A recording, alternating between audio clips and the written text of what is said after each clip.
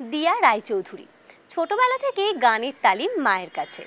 আর মামার বাড়ির সঙ্গে গানের সম্পর্ক অঙ্গাঙ্গী।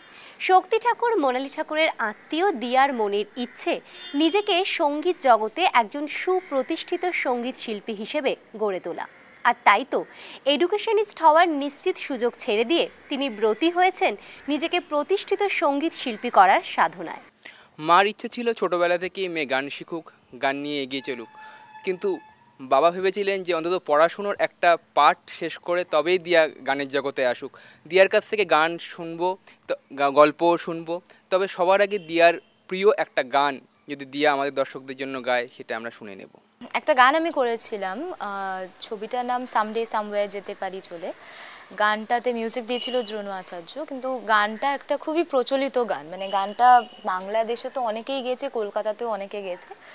কিন্তু গানটা এখানে দর্শকে বেশ নিয়েছে আমার গলায়, আর তারপরে গানটা সিনেমাতে হিট হওয়ার পরে ওটা সিরিয়ালেও ইউজ করা হয়েছে মানে টাইটেল সং হিসেবে এনাল সেটাই করছি।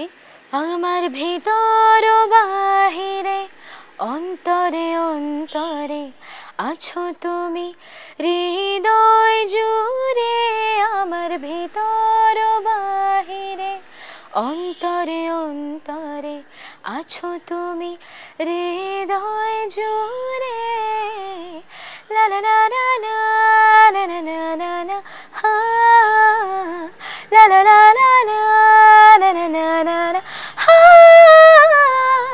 ভালো আছি ভালো থেকো আকাশের ঠিকানায় চিঠি লিখো দিও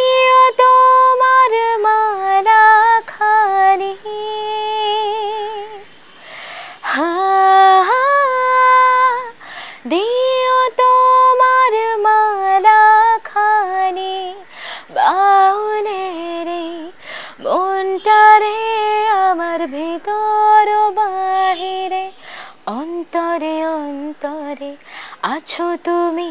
হৃদয় জুড়ে আমার ভিতর বাহিরে, অন্তরে অন্তরে আছো তুমি।